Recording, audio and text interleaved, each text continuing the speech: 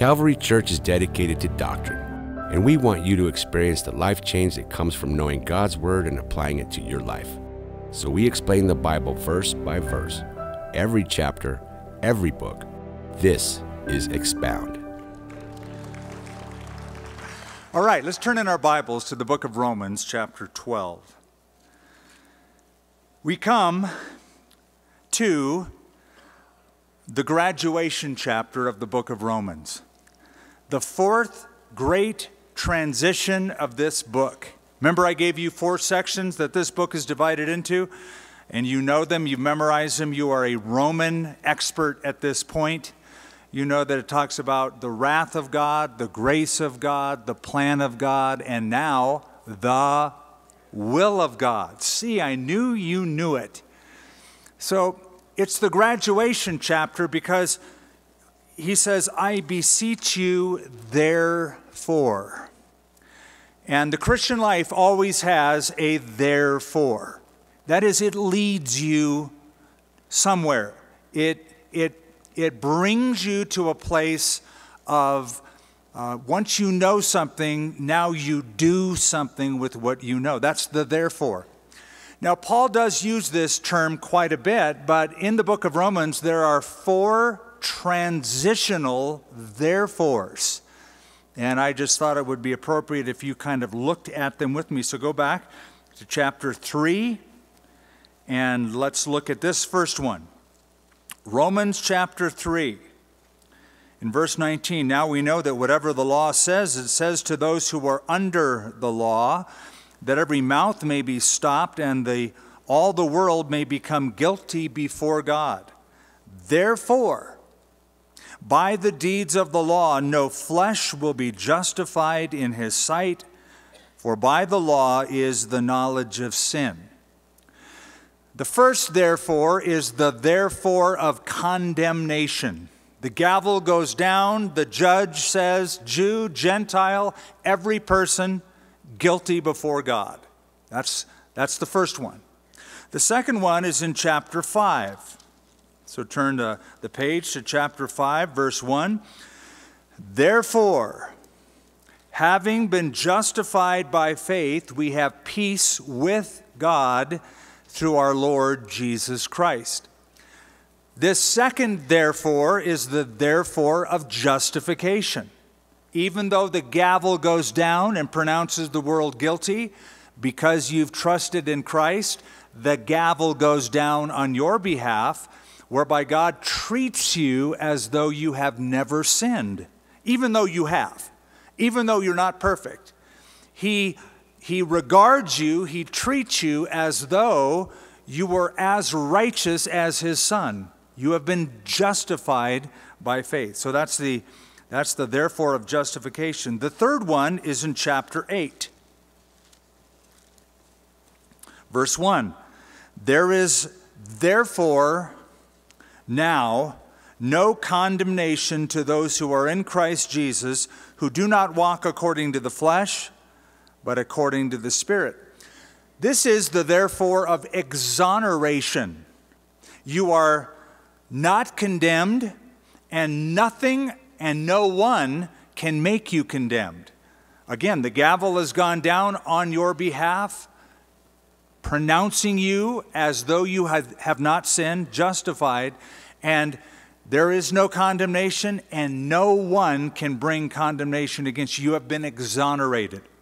And then in chapter 12, verse 1 is the fourth one. This is the therefore of consecration. Because all of these are true, therefore, I'm going to do something with myself, my body, my life. So he begins I beseech you, I urge you, I beg you.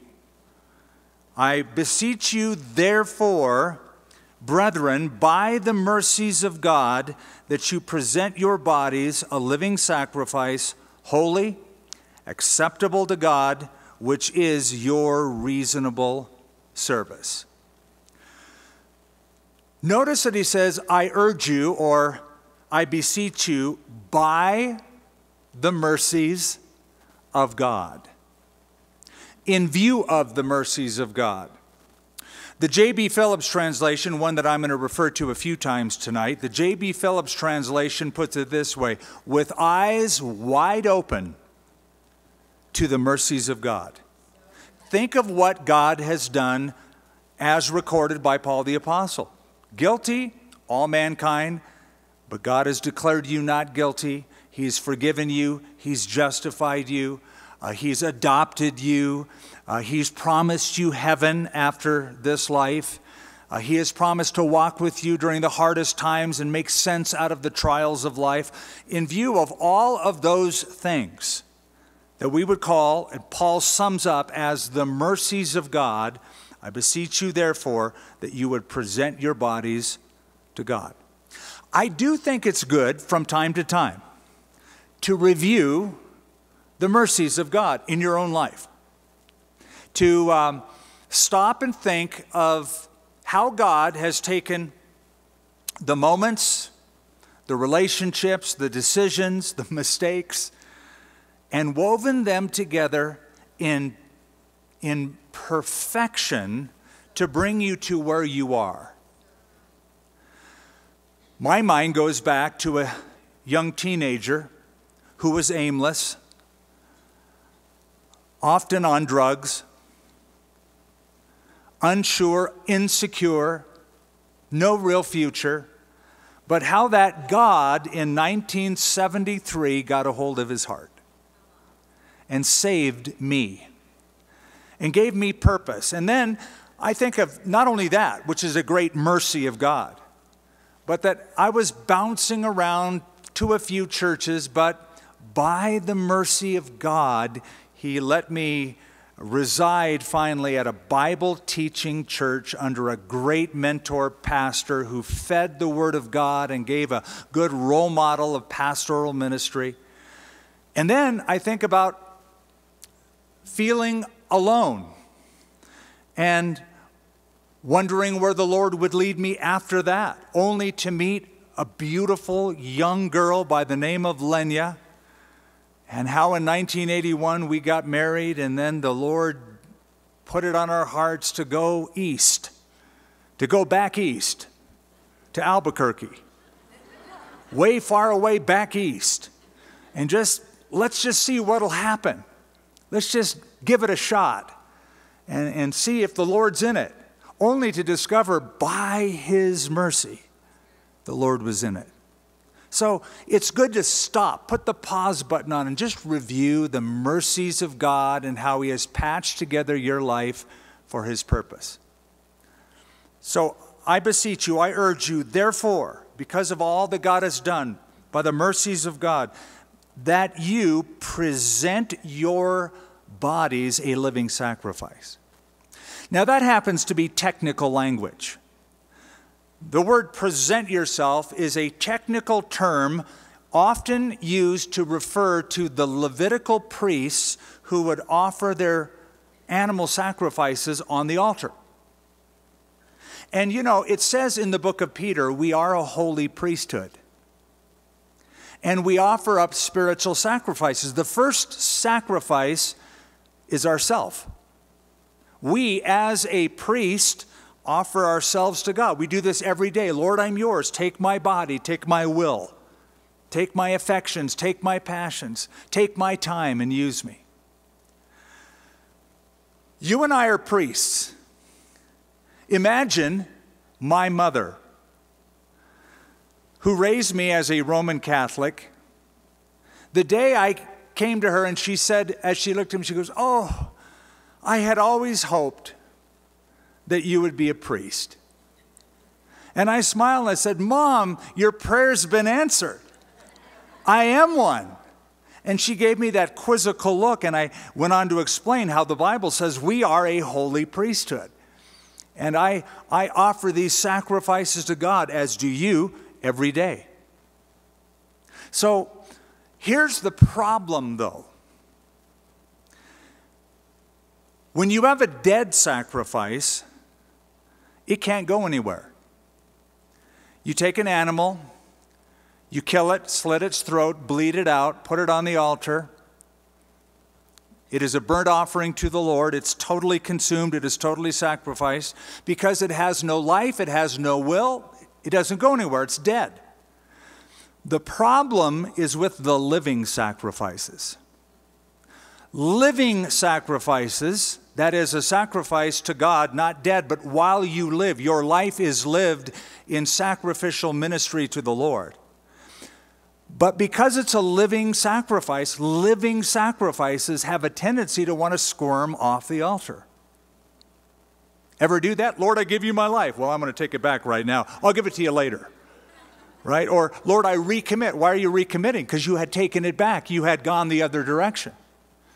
The only reason we make prayers of recommitment is because the sacrifice has squirmed off the altar. But we are to be a living sacrifice. That is, our life lived for the glory of God. Present your body. Why the body? What's the big deal about the body? Now, the reason I'm asking the question is because some Christians I have discovered have what I would only describe as a philosophical dualism in life. Let me explain. They would say, well, the spirit is important, and that which is spiritual is important, but that which is physical is not all that important. My body isn't all that important. Um, you know, I, I can kind of do what I want with my body, and I'm bringing that up because that was the exact same philosophy of Gnostic heretic, uh, uh, a heresy in the early church. They had a philosophical dualism. They believed that the spirit was important, the body was not. Therefore, they could sort of live however they wanted with their body as long as their spirit was dedicated to God. That was Gnosticism. It's not quite the same, but some Christians today just um, think their body isn't all that important. They don't take care of it, they don't see it as a vessel, as a temple of God. Why would God be so interested in you giving your body to Him? because your body can become a base of operations for the Holy Spirit to work in, to move in, to operate from, to do His work in the world. Um, put in the parlance of 1 Corinthians, you are the temple of the Holy Spirit, the place where God resides, the place where worship is conducted, the, the um, place, the base of operations from which God moves among His people.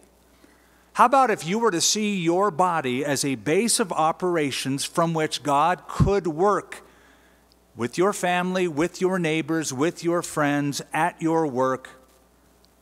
If you saw yourself as that, then you could live a living sacrifice, holy, acceptable, which is your reasonable service. So, your body is important. God does want it to become a base of operations for him to work through. Think of the Bible. Think of people in the scripture who, who, de- who dedicated their lives, their bodies to the Lord. Think of, for example, the womb of Sarah. Barren, an older woman, but eventually, though it took God some time with her, she surrendered her life, her body to the Lord, and her womb conceived Isaac.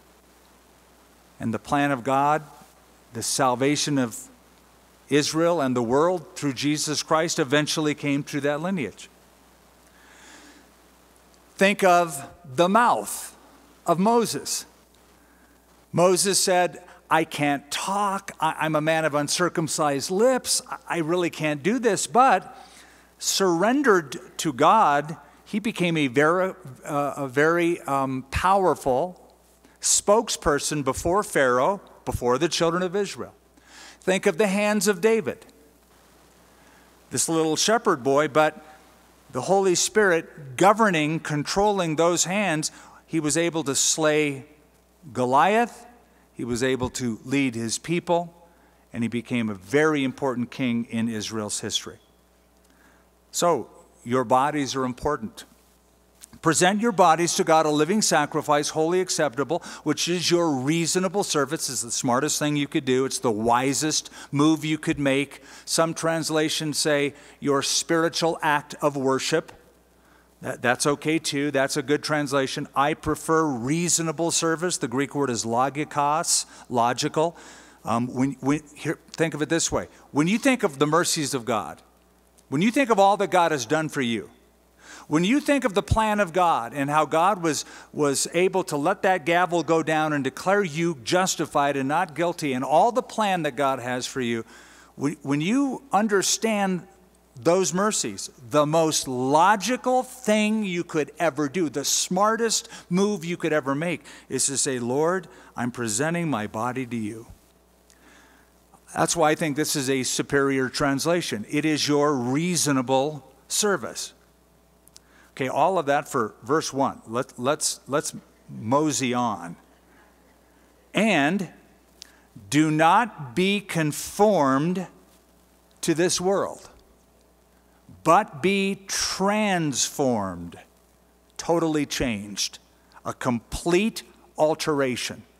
Transformed by the renewing of your mind, that you may prove what is that good and acceptable and perfect will of God. So the presentation of your body leads to the transformation of your mind and your life. One leads to the other. Do not be conformed to this world, but transform. Now, in verse 2, there, there's a couple of different parts there's the negative and there's the positive. Do you see it?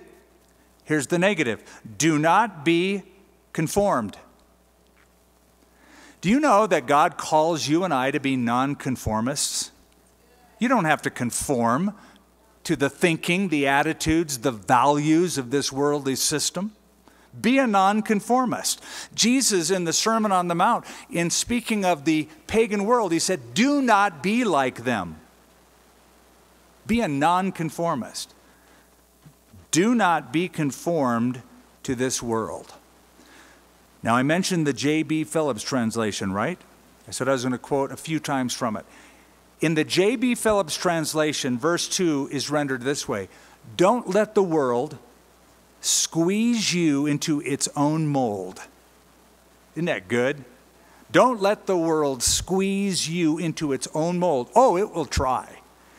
It wants you to parrot its weird value system and, and say all the right things and be all woke and be all spoke and be all that they say you ought to be. Don't be conformed to this world. Be a nonconformist. Don't let the world squeeze you into its own mold. Why is it that we conform, by the way? Why do we conform to the world? Fear. Nobody likes to be rejected by a peer group. Everybody fears not fitting in. Everybody's afraid of what other people are going to think of them. Everybody's afraid of the backlash if they take a stand, what somebody's going to write on their Instagram or what they're going to tweet back or an email they're going to get or somebody gossiping behind their backs. It's fear of the crowd that makes us conform to the values of this world. But he says, don't be conformed that's the negative. Here's the positive. But be transformed by the renewing of your mind. Just like your body matters, your mind matters. Too many Christian institutions have an unwritten rule when you enter them, and that is please check your brain at the door. No more thinking critically after this point. Now you just swallow everything we give you. No, your mind matters and you should think critically and, if need be, question necessarily. Even Paul the Apostle congratulated the Bereans because they were more noble than those in Thessalonica in that they received the Word of God with all readiness of mind, but they searched the Scriptures daily to see if these things be so. Be a Berean. Do that. Can you imagine listening to Paul the Apostle and even having the thought, well, I don't know if that's true? And somebody go, what do you mean that's not true? That's, that's Paul the Apostle, man. So, I want to make sure that that is in line with the scripture. I'm going to search the scriptures daily to see if what Paul just said is true. And Paul said, I like that. They're more noble than those in Thessalonica because they did that. So your mind matters to God. You are to love the Lord your God with all of your heart, mind, soul, and strength. To think through things uh, intelligently, clearly, critically. Be transformed by the renewing of your mind, that you may prove. Now, we've gone through the negative and the positive. Here's the practical. The practical part is this is where it will lead you when you do that. When you don't conform, but you are transformed, you will prove. The result will be you'll, you'll discover what is the good, acceptable, and perfect will of God. I don't think I've ever met a Christian who doesn't want to know the will of God. A person comes to know Christ, they're all excited that their sins are forgiven, they have heaven waiting for them, they have purpose for life, but they quickly come to the place where they say, I wonder what God wants from my life, what He wants me to do, what area He'd be leading me into. What is the will of God? How do I discover the perfect will of God? And then, unfortunately, some think, well, it must be difficult or it must be strange, weird.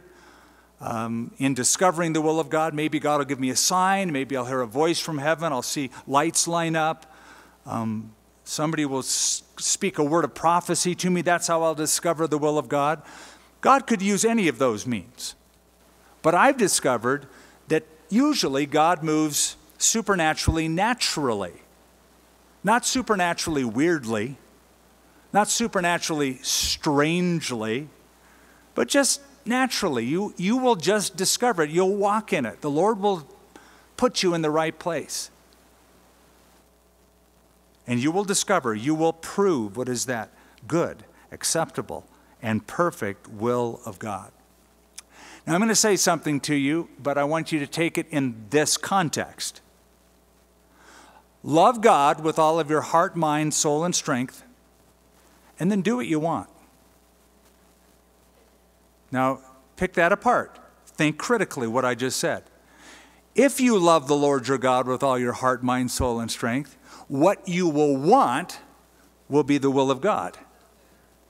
If you love Him, you want to honor Him, you want to glorify Him, you're thinking, I, I want to follow the dictates of Scripture then do what you want because what you want is you're going to discover what He wants. You're going to want what He wants. He'll place those desires in your heart. You'll prove what is that good, acceptable, and perfect will of God. For I say, through the grace given to me, to everyone who is among you, not to think of himself more highly than he ought to think, but to think soberly as God has dealt to each one a measure of faith. Now, let me give that part of the verse to you in the Phillips translation. This translation says, um, Do not think of himself more highly than he ought. The Phillips translation says, Don't cherish exaggerated ideas of your own importance. Again, that's so good. Don't cherish exaggerated ideas of your own importance. Now, I've discovered this happens when God starts using a person. That the, the natural reaction to God using them is, wow, I must be pretty awesome. I am pretty awesome. I mean, that was amazing what the Lord did in my life. And so you start having exaggerated ideas of your own importance. No, all that proves is God is willing to condescend and use even you and me. God has chosen, remember what it says God has chosen the foolish things of this world to confound the wise. 1 Corinthians 13. That is my life verse. If a doctor performs an operation in a surgical suite under sterile conditions. with a great backup team and all the latest technology happens every day.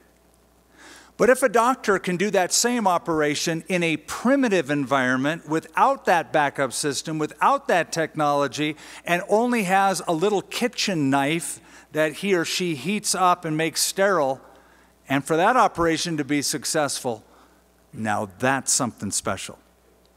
And after the operation, you don't take the knife and go, Praise you, knife. You are the most awesome knife ever. Uh, it's not the knife, it's the one who held the knife. It's the one who did the work. It's not the tool. So don't have exaggerate, I'm a knife. So, who's the surgeon, man? Who's the doc behind you? So don't think of yourself more highly than he ought to think, but think soberly, as God has dealt to each one a measure of faith. Now, he's going to go on to speak about the body of Christ and, and love in the body of Christ and, and gifts that promote unity in the church uh, to fulfill his will among us. And um, it says that God has dealt to each one a measure of faith. One thing I have discovered about God and, and how he uses us is um, the Lord is not an ogre. He doesn't call you to do something that you go, oh man, I'd hate to do that. I've had people say, I'd hate to go to the mission field. Chances are he's not calling you.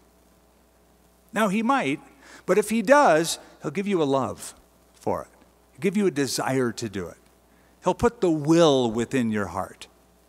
It's not like God is so mean, and he twists your arm and he's going to force you to do stuff you hate to do. No, God has given you a measure of faith so that you will operate in a certain area and it's a perfect fit. A perfect fit. He's a gracious and loving God. So, for as we have many members in one body, this is the human body as an analogy, but all the members do not have the same function right? 1 Corinthians chapter 12, if the whole body were an eye, where would be the hearing? If the whole body were an ear, where, where would be the seeing? There's different parts in the human body. So, we being many, that is, we as the body of Christ, church members, we being many, are one body in Christ and individually members one of another. Having then gifts differing according to the grace that is given to us let us use them. I mentioned a doctor, and I mentioned a, a kitchen knife or a scalpel. That's just one tool. The doctor has needles, different gauges of needles, different shapes of needles, different kinds of suture, different um, tools like retractors and hemostats and blades, etc., to, to do what he does, besides a number of other tools. Every tool is important. A mechanic doesn't just have a screwdriver, but has a screwdriver and a pliers and a bunch of other tools to do a job. When somebody comes to me and says, Well, what is the best spiritual gift to have? That's like asking, What's the best tool in your toolbox? Or what is the best implement for the doctor to use? And the answer, of course, would be well, it depends on what job you want to do. You know, if you want to um, weld something, a hammer is not your best tool. In fact, you can beat something all day long and it won't help, won't, won't accomplish the job. If you're trying to hammer a nail into a piece of wood, a screwdriver is not your best tool. A hammer would be. So when the Bible says, covet the best gifts, and it does say that, desire the best gifts of the Spirit. What is the best gift? Well, it depends on, on what God has called you to do. And the best gift for you will be given by God to you to accomplish the work He's called you to do. You can be rest assured of that. So He's given you a measure of faith and he's given you whatever gift is needed to, to fulfill and to, uh, to bless the body of Christ. Okay. in Romans chapter 12, he mentions some spiritual gifts. He mentions seven spiritual gifts. That's not how many spiritual gifts there are. Uh, if you were to look at 1 Corinthians chapter 12, he lists 17 spiritual gifts. If you look at the book of Ephesians, he mentions five spiritual gifts. So, and I've read so many books on, on this. Some will say when it comes to gifts of the Spirit, gifts of the Holy Spirit, there are 22 gifts, or some will say 21 gifts, or there's the, the number floats depending on, on how you read the words. But um, it doesn't matter, right? I, I don't think the number matters. I think that it's the same Spirit who works all of these things, all and in all, Paul said. So you, you can have a person with one gift or two gifts or three gifts of the Spirit, and then you'll have somebody else with one of those gifts but a couple of other gifts, so that the combination is pretty endless. And so that the use uh, and working of the spiritual gift in the body of Christ can be like a fingerprint, very individual, very stylized, very, very not like another. And even two people with the same gift of the Spirit are, are going to operate differently. They're, they're going to have their own personality. So you, you get two, uh, let's say, pastor teachers, and they are given the same passage of Scripture. I guarantee you, you're going to have two different sermons, two different ways of looking at it. Same truths, but different styles. Okay, enough said on that. Let's kind of go through this. Having then gifts, differing according to the grace that is given to us, let us use them. If prophecy, let us prophesy in proportion to our faith. I'm not going to go through all these gifts and, and describe all the use of them. I have done that. I've done that in depth. I've done that with every gift of the Spirit. I will say this, and there is dispute as to if prophecy means preaching the word or if it means something more specific. In the Old Testament, prophets often foretold the future, yes? They predicted. Sometimes they didn't predict. Sometimes it was not foretelling. Sometimes it was just forthtelling. They were just saying, Thus says the Lord. It was God speaking into a situation uh, or to a, um, an event happening in the country or in the city with the kingdom, with the king.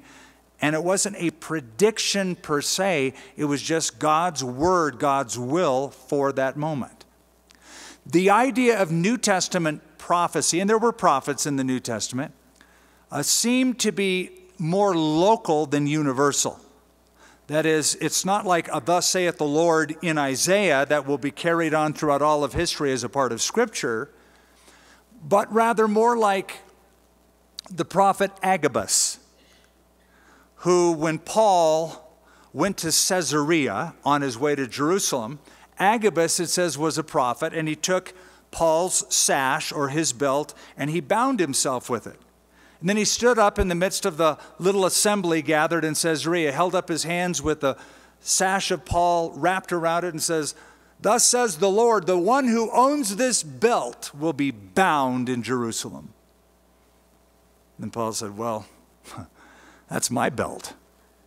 And they all looked at Paul and said, Well, you're the dude that's going to get arrested then. You're going to be bound. And he was. So they took that to mean God doesn't want you to go to Jerusalem. And they begged him, Paul, don't go. Because the, the prophecy that faithful prophet just spoke said you're going to get arrested. Well, Paul didn't see that as a prohibition, Paul saw that as a confirmation. He said, Okay, so I'm going to get arrested. He goes, What do you mean weeping and breaking my heart? This is Paul speaking. What do you mean weeping and breaking my heart? I'm ready not only to be arrested, but to die for the name of the Lord Jesus. Okay, a man like that is unstoppable. A man who is ready to get arrested and die, what do you do? Well, you let him go. And he did. But it was Agabus, the prophet, who gave that very specific prophecy. So, um, if prophecy, let us prophesy, speak forth in proportion to our faith. Um, perhaps a better translation would be in proportion to the faith the faith, like we talked about this last weekend, the body of Christian truth. or ministry. Let us use it in our ministering. Now, this word, ministry, this spiritual gift, means the gift of practical service. The word Paul uses here is diakonia. Diakonia is the word, the Greek word, whereby we get our word deacon, a servant, a practical servant in the church. So, if God has given you that measure of faith and, and the ministry of practical serving, meeting needs practically in people's lives, then do it. He who teaches in teaching. That's what I feel my primary gift is. I think I have other gifts of the Spirit, but primarily, this is the gift of the Spirit that I exercise here uh, for this local body uh, most frequently. And a gift of teaching is the ability to interpret the text and to clarify its meaning. To be able to explain the meaning clearly to people.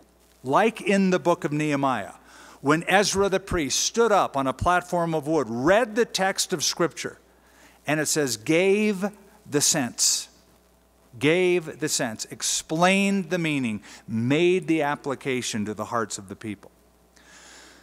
Now, as a teacher, I will just say I believe, and I might be biased on this, I believe the gift of teaching and the use of teaching is one of the most needed gifts in the church. Uh, and, and let me explain.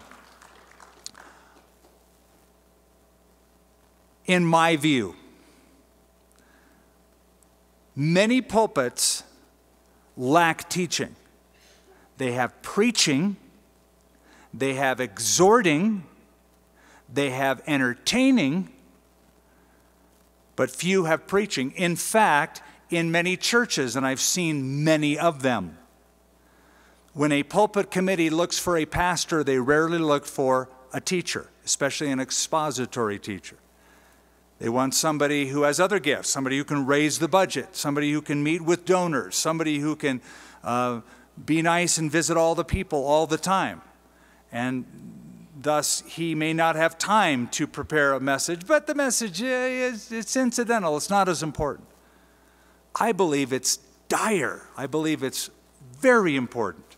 God has given us a book, and, uh, and a teacher will explain clearly, simply, uh, the meaning of that. So, uh, he who teaches in teaching, so that's my little bias, that's my little soapbox, but I qualified it, I warned you.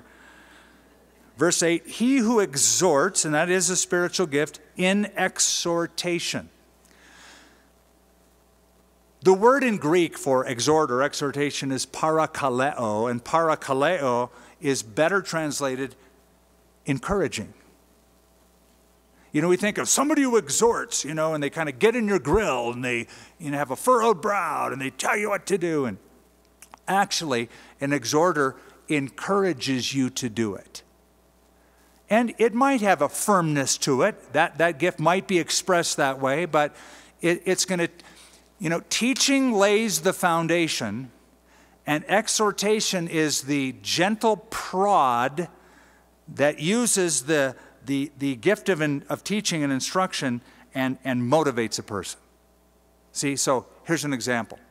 Let's say I hold up a skateboard, since we have a skate park here, and I hold up a skateboard and go, man, first of all, let me tell you about this skateboard. This skateboard is a longboard, and I'm only going by what I have at home. So uh, a longboard is different than a shorter skateboard. It, it turns uh, uh, it's smoother, but it doesn't turn as well. Uh, but the wheels are a little bit bigger, so they're softer. And I start explaining all the parts and the bearings and the trucks and how it operates and the, the tape on top that gives you grip. And, uh, and so you're getting all this instruction. All that's good. Now you know how it operates. But somebody with the gift of exhortation is the guy who gives you a push on the skateboard. It's one thing to have the instruction, but it's another thing to get the push and get some momentum. Now, you need both. You need instruction, because you don't want somebody just putting somebody who knows nothing about this on a skateboard and just boom, pushes them down a hill. That'd be cruel. So you need instruction. But if you just get instruction, but you don't have somebody to help you put it into practice, it's just head knowledge. So, teaching and exhortation are two gifts that often operate together. So many times the teacher will also be a preacher, and vice versa. He who exhorts in exhortation, he who gives with liberality. There is a gift of giving. All of us are called to give and support the Lord's work, but some people, God gives a special enabling to see a need and the financial wherewithal and the heart to meet that need.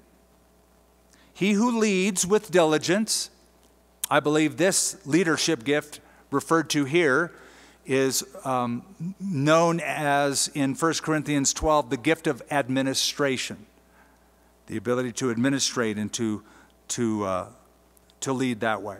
He who shows mercy with cheerfulness, another spiritual gift. Thank God for those who have the gift of mercy when we need it. Verse 9 let love be without hypocrisy.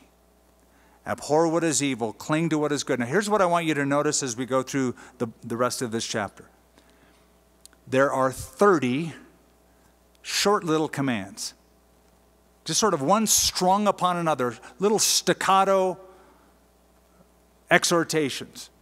Do this, do that, you know, this, that, 30 of them. And they all primarily deal with love how we love the family of God, how we love um, hostility uh, or the world, even in the midst of hostility, and how we love even our enemies. So, let love be without hypocrisy. Uh, those two words, without hypocrisy, one word in the Greek language, anhupokritas. Anhupokritas, without hypocrisy anhupokritas. A hypocrite, literally, hypokritos, Greek word, was nothing more than an actor.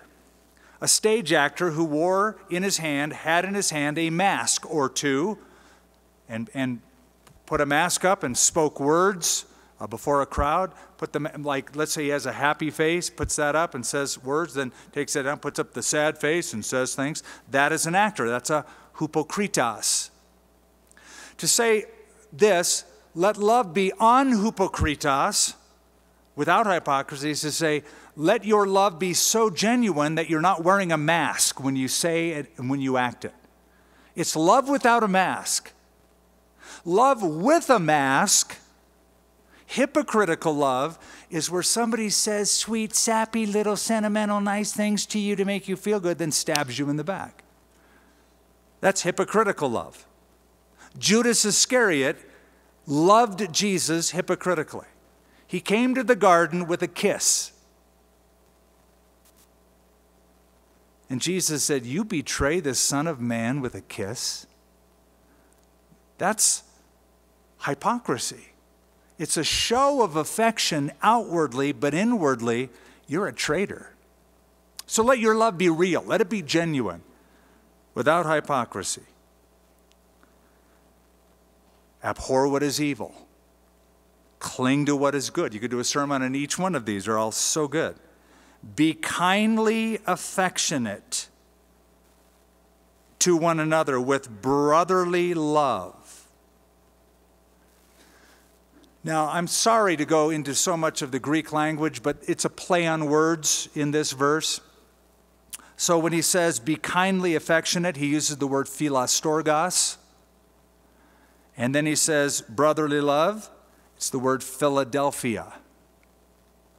Phileo or phila is brotherly love. So uh, it's, it's a play on words. Um, uh, be philostorgos to one another with Philadelphia. All of that to say, love like you're part of the same family. You're in the family of God. That's your brother and your sister. Not my real brother, yeah, more so, deeper, because of the spiritual bond. So be kindly affectionate, philostorgos to one another with Philadelphia, with um, real brotherly love.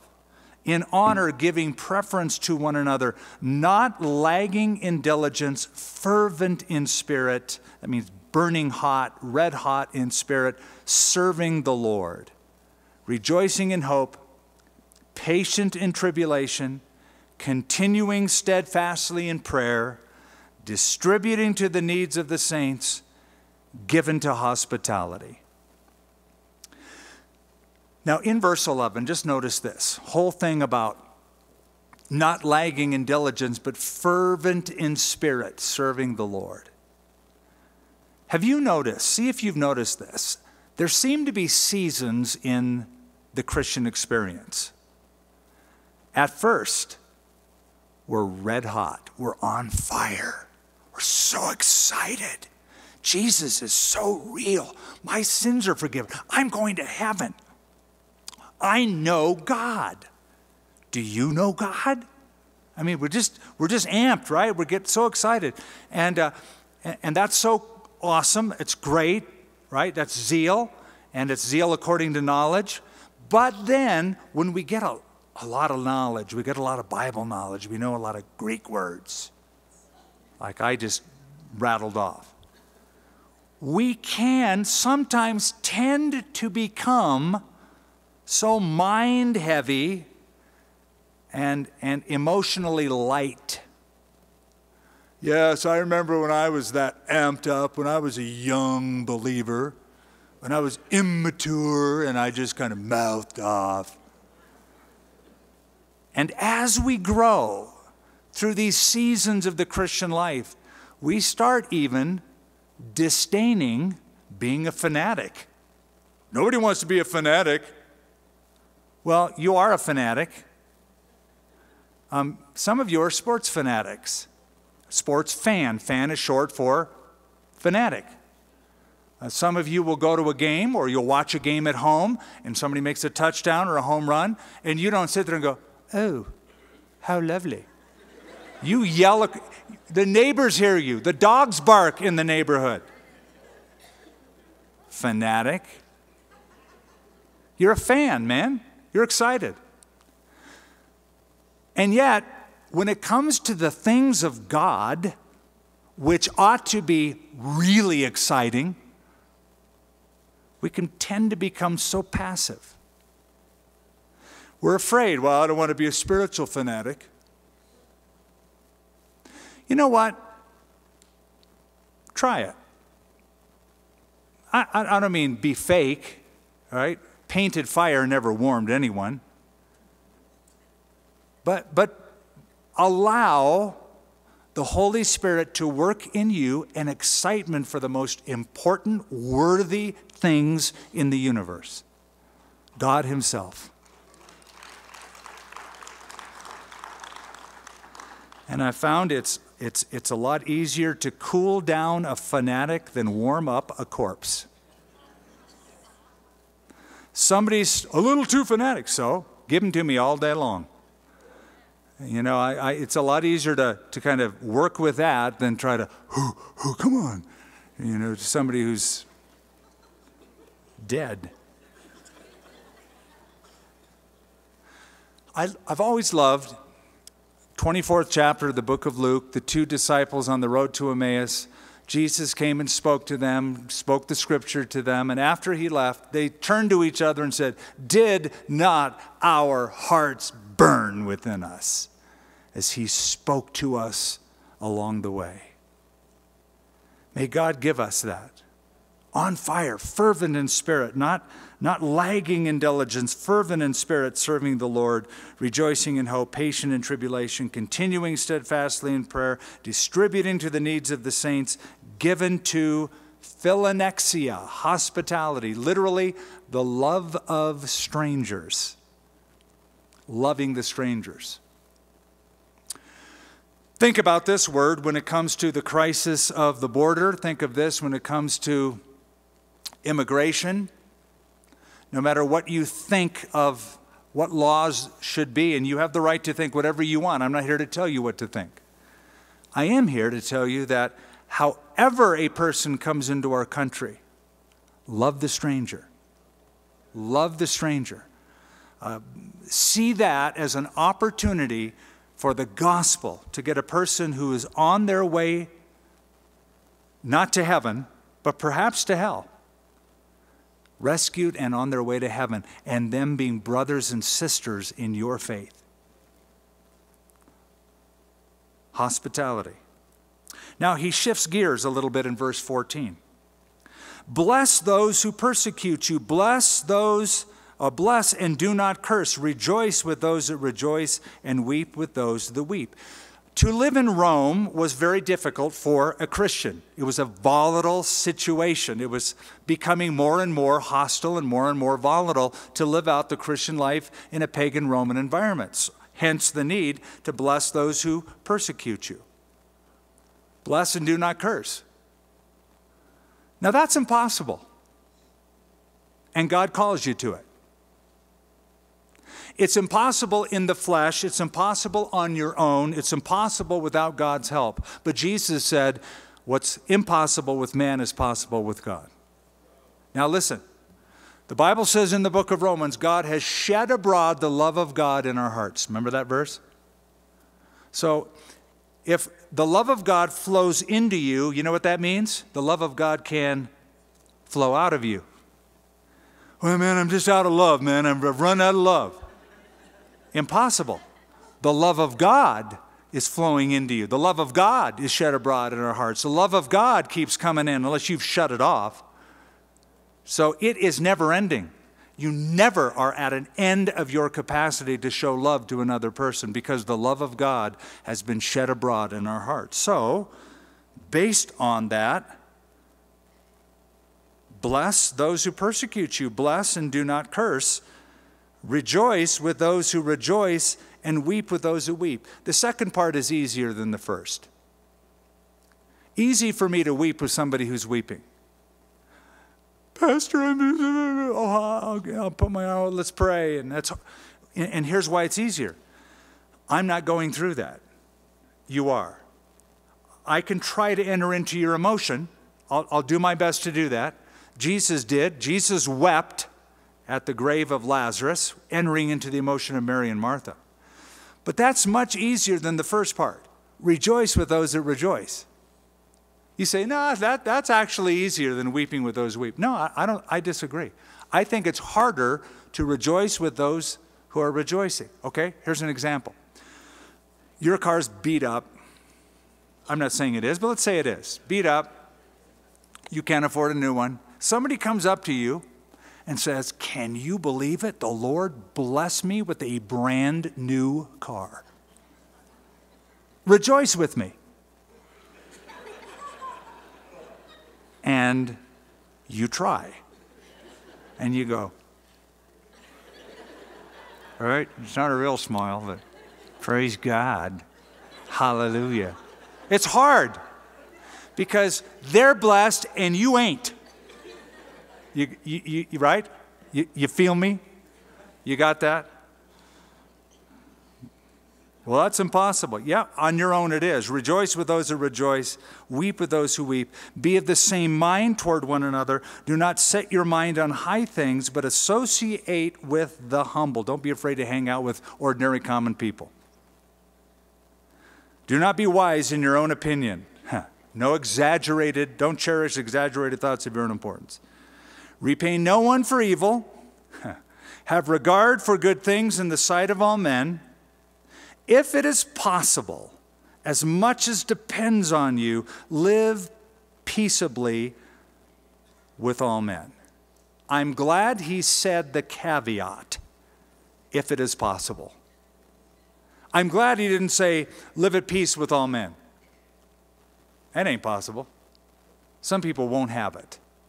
But if it's if, if it's possible, uh, if you can do it, if, and for it to be possible, both parties have to be willing. And if both parties are willing, if the other party is willing, you should also be willing. So, as, if it is possible, as much as depends on you, never let the inability to be at peace with your neighbor be on your side of the fence. Be at peace with all men. There's a, there's a book out, I remember in the early 1980s, by Joyce Landorf. Now that, that goes back, called Irregular People. And uh, basically, the theme in her book is that um, everybody has in their life at least one irregular person. It's that person, every time you see him, they say some remark that makes you feel bad. They can't help themselves. There's always just that rub. They're inappropriate, they're mistimed, all that. And it's how to deal with irregular people. But then the book also makes the point that you are also an irregular person to somebody else. And uh, how to change that as well. If it's possible, much as depends on you, live peaceably with all men. Beloved, do not avenge yourselves, but rather give place to wrath for it is written, Vengeance is mine, I will repay, says the Lord. Some of us wish that verse wasn't there because honestly, vengeance is so much fun. It's so fun in the flesh to plot and to plan getting that person back. Oh, it's going to feel so good. Oh, when they hear this, when they see this. It's fun. It's sinful, but it's a blast, right? That's just, that's honest. You know what I mean. Uh, the Chinese had a proverb that um, uh, if your enemy wrongs you, buy each of his children a drum. right? That's the way you get back at them, just have all their kids be a drummer. No offense if you're a drummer. My respect to parents who let their kids be drummers. Uh, therefore, verse 20, if your enemy hungers, feed him. If he thirsts, give him a drink. For in so doing, you will heap coals of fire on his head. That's an Egyptian custom. It's an old Middle Eastern custom. When somebody wanted to show public contriteness, uh, that they had done something wrong to somebody, and they wanted everybody to know that they're admitting they're wrong, so just so you know, I admit my wrong. Um, I, am letting it be known that I bear the shame. What they would do is they would carry a pan of hot coals on their head. I know that sounds really weird, but um, uh, it was, but not, not like to burn their head. They would have like a little cloth, uh, tuff and then they would put a little um, thing with hot coals. And it was a, the idea is, is I'm bearing the heat of the shame and the pain that I have caused other people. So the idea of loving your enemy is you're going to heap fires of coals, you're going to make them feel really bad by you treating them so good. And they'll be humiliated, they'll be shamed because of your not acting like them, but you're acting with such love that it's going to cause a cessation. They're going to want to stop that. That's the idea. In so doing, you will heap coals of fire in his head. Do not over, be overcome by evil, but overcome evil with good. Overcome evil with good. You say, Well, I don't have any enemies. I don't know. I'm not going to give a show of hands and say, How many of you don't, don't have any enemies? Because if you look up enemy in a dictionary, one of the definitions is not somebody who wants to kill you or shoot you or destroy you, but an antagonist. Anybody have an antagonist in their life? Think of that as an enemy. David had a number of enemies. He said, You prepare a table for me in the presence of my enemies. David had Amalekites as enemies. David had Philistines as enemies. David had Goliath as enemies. David had a father in law as an enemy, King Saul. David had a son named Absalom who was an enemy. Jesus said a man's enemies will be those of his own household. Some of you have frenemies. People who act like friends but are out to do you harm. Aren't you glad? It says, if it's possible, be at peace with all. Give it your best. In some cases, you'll be successful. In some cases, you won't. And when you're not, you've done your best. You've tried to reach out. You've tried to make peace. But you've honored the Lord. Father, thank you that uh, you've given us an opportunity to consider your word, to make application to our lives. in this very, very practical section of this book that we're getting into. I pray, Father, that you will enable us uh, going forward to be um, trained by these very words, to be conformed, not to the world, but conformed to your standard, really transformed, changed totally. We present, Father, our bodies to you as living sacrifices. It's the most logical thing we could ever do. It's the smartest move we could ever make. We give them to you now. We pray that you will use us. We pray that you will conform our thought patterns, our thinking, our minds after your image for your glory in Jesus' name. Amen. For more resources from Calvary Church in Skip Heitzig, visit calvarynm.church. Thank you for joining us from this teaching in our series, Expound.